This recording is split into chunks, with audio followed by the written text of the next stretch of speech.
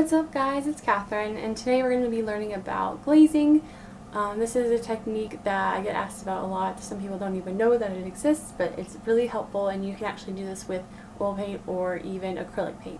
People ask me all the time, like, why do you do the whole gray thing first? The same way that like the old masters and stuff worked, it's called a grisaille, which is like gray toned underpainting. But, um, also glazing is synonymous for scumbling in this video. Like they mean different things but the technicality of it is not important because it's the same process. So glazing and scumbling, I'm going to be using that just at the same time instead of saying glazing and scumbling because that, anyway. Glazing. What is glazing? The noun of glazing is a thin, oily, or fat, transparent layer of, of paint spread over an underlayer. As an, a verb is the action of spreading fat, oily paint over an underlayer. Starting with basics and applying more and more layers in different tones to build up um, a final piece instead of trying to mix all of your layers in the on, in one layer. So the idea of this is like what I do with my grays. So I make a whole bunch of full painting of just grayscale and then I apply colors on top of it later. Even during the grayscale process, I am using the same layers. So um, actually like right here, this little window is just a solid color. But at the end, I'm going to have a variation of colors. It's going to look something more like that or something more like this. The science behind it is um, if you think about light. Light travels through all the layers and all the colors of each of those layers, bounces off the canvas, and then travels back to your eye, and the, all the colors are mixed in your eye. Um, and if you think about black, if you've painted something black, um, all of the colors of light are absorbed by the black and no light bounces back to your eye. So actually what you're seeing is the absence of color.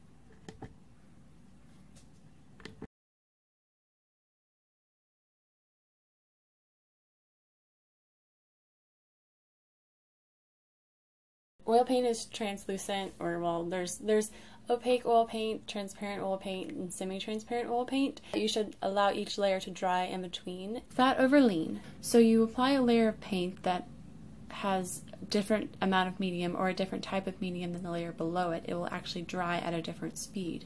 So if it dries quicker than the layer below it, if the layer below is still wet and you've applied a faster drying layer on top, cracking can occur.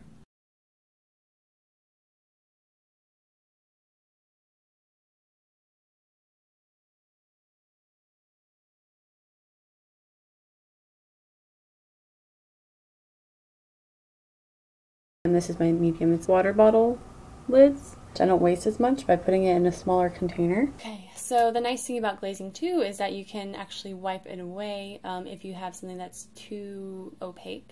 And you do want to start with the most opaque layers first. You have to do it in order of like opacity. So you have to understand too um, which paints are opaque and which paints are transparent. The brush that I would recommend using for um, like a lot of glazing would be a mop brush, which it looks like a makeup brush. It's called a mop brush, but it just looks like this.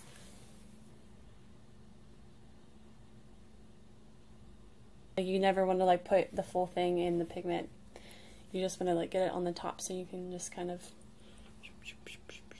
Benefits of glazing is that it increases like the luminosity, the luminosity, the richness, and the depth of um, your figures or subjects, whatever that's unachievable by just having like certain layers just mixed. Can just unify your entire painting. So like, say that I was doing a painting of like something that was inside and it was dark, but there was like a candle lit uh, the color of the candle is like kind of orangey, um, yellowy. So I would do, if I wanted to unify that painting, did everything in like actual color, but I wanted to unify it by just like glazing the entire thing with like this like orange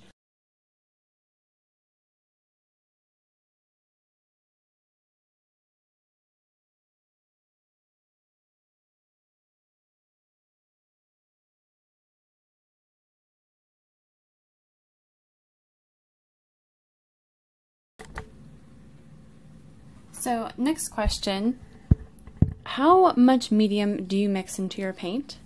Um, so you generally use some type of medium in every layer, um, mostly because it just makes it a lot easier to deal with. Um, but you increase the amount of oil as you um, increase the number of layers that you have. So maybe like in your first layer, you might just use about 10%, 20% in your second layer, and so forth. Um, however, if you go too thin, you'll know because uh, you'll have brush strokes and something that you want to be smooth. Um, so if that's the case, it's not, it's not a big deal. You don't have to worry about that because you can just add more paint and it fixes that um, issue.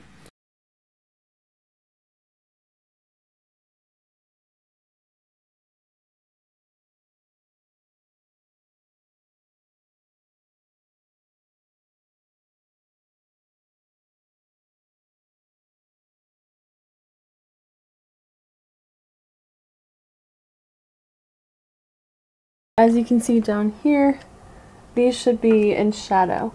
So instead of trying to put black on them now, what I'm actually going to do is take, after this dries, I'm going to use black paint right here on the edge of this mattress so that it looks like it's in shadow.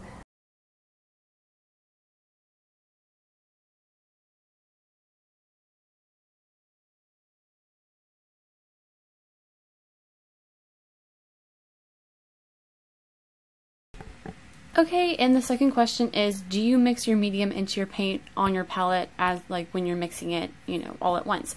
And the answer is no. I was trained to do or well to mix um, linseed oil into my pigments uh, beforehand, but that makes your paint dry so slow. So I decided not to do that when I kind of went off on my own path. I started using a dryer, which is Galkyd. There's other kinds of dryers, more natural kinds, whatever. Um, but I use Galkyd, so I use it on all my layers really. Right as of right now, that's going to be changing soon. But I mix just as I'm using it. So I will put a little dab of paint on my palette. I'll, it will stay as pure and as close to just normal paint as possible until I'm about to use it. And the professional thing to do is use a palette knife to mix in your little um, percentages of medium with your paint instead of using your paintbrush because that's um, you can get a little bit too much paint up inside your ferrule and that will actually ruin your paintbrushes sooner. So try not to do that if you can.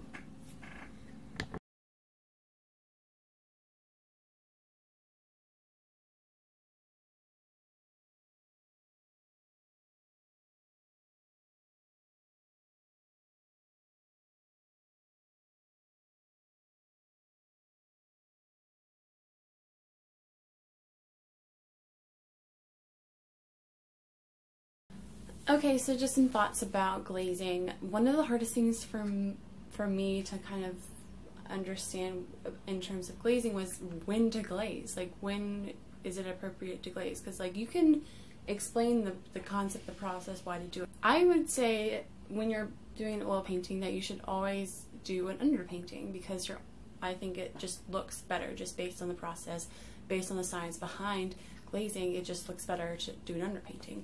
Um, one of the things I've recently come across is people doing a, an umber underlayer, then a gray underlayer, and then the color on top. So doing multiple layers like that, um, and then even below the umber layer would be the um, tone of the canvas, which is when you use your mineral spirits. So like your mineral spirits, you never use mineral spirits in an overlayer because it's just that will make your medium or your paint too thin. So you use that in the um, the first the toned layer, and that's just to like give you a nice like um, surface to kind of paint on top of. It does tone your does give a full like tone to your painting as well. Always, always, always know that you're going to be glazing when you're doing portraits. So you have your under your um, grisaille, which is your gray underlayer, and then you're going to be glazing color on top.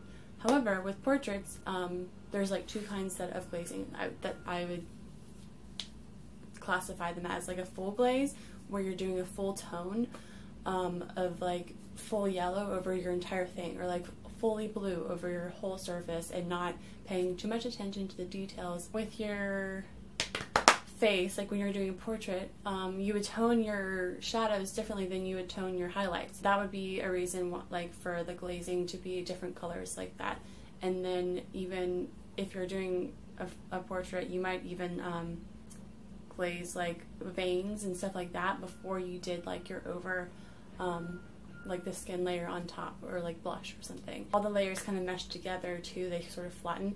Um, they might be a little bit opaque at first, but over time they will like flatten together, and so they become more transparent as well.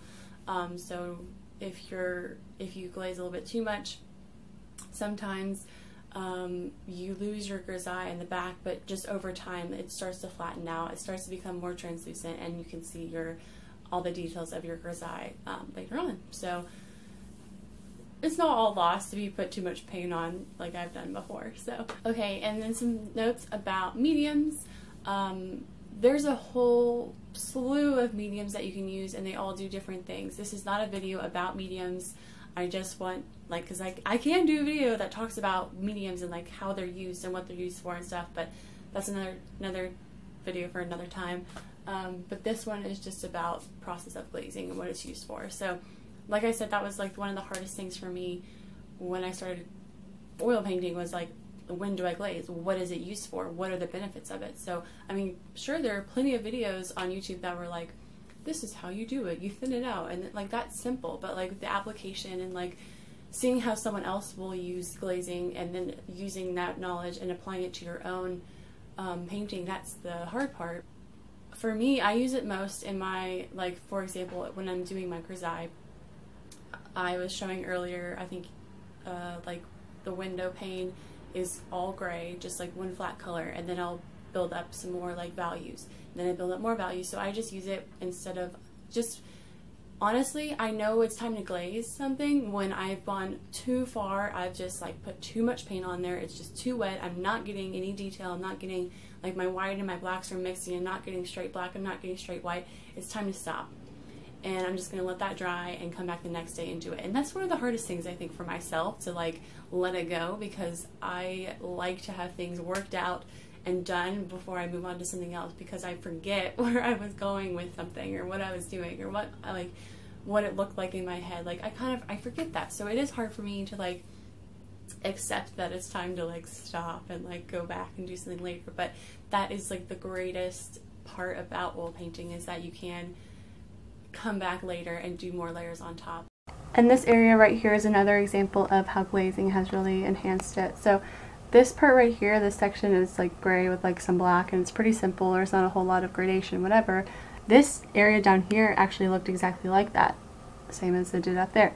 But actually glazing and adding this black line right here just made so much more depth and stuff. It's a lot more successful. It look, looks a lot more like what it's supposed to now that it has this layer of white and this layer of um, black as well as up here and stuff. I guess that would be a good way to kind of understand glazing is that you are to do general tones first and build up your layers to finest last. And also like your finer details are going to be the fattest and your, your broader details are going to be the leanest. So it's going to be mostly pure paint, closest thing to pure paint in your bottom layers and then the closest thing to like a medium and or sorry the most um, thin out, most fatty, most oily pigment is going to be for those final layers. I make a video every uh, Wednesday and every Saturday and you can click here to become a Kathranciscan for updates on the videos that I post on those days. Bye. Glazing. There's like a happy medium for mediums. An umber, um,